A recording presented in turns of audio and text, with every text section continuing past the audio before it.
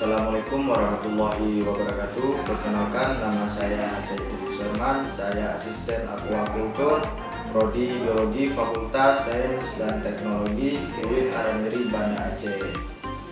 Berhubungan karena masih pandemi Covid, maka praktikum dilakukan secara daring. Adapun judul praktikum pada kali ini yaitu seleksi benih. Praktikum tentang seleksi benih bertujuan untuk mengetahui ciri-ciri benih yang baik dan berkualitas. Bahan yang digunakan pada praktikum kali ini yaitu benih ikan lele.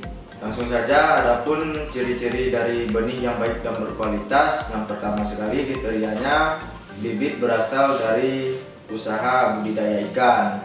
Pasalnya bibit tersebut mengalami perawatan yang intensif sehingga kualitasnya lebih terjaga.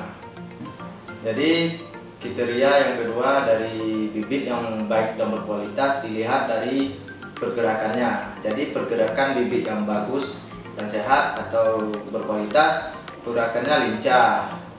Kriteria yang ketiga, benih ikan harus mempunyai fisik yang sempurna. Dalam seleksi benih, upayakan memilih ikan yang tidak cacat organ tubuh atau organ tubuhnya lengkap, kulitnya cerah dan mengkilat. Kriteria yang keempat, benih benih ikan harus memiliki ukuran yang seragam antara satu benih dengan benih yang lainnya.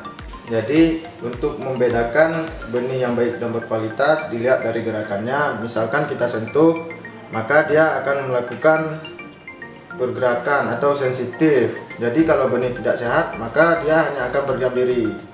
Nah, misalkan ini contohnya dia hanya diam. Sekian video dari saya. Apabila ada kesalahan, saya mohon maaf. Untuk info tugas selanjutnya dapat dilihat di deskripsi box di bawah ini. Assalamualaikum warahmatullahi wabarakatuh.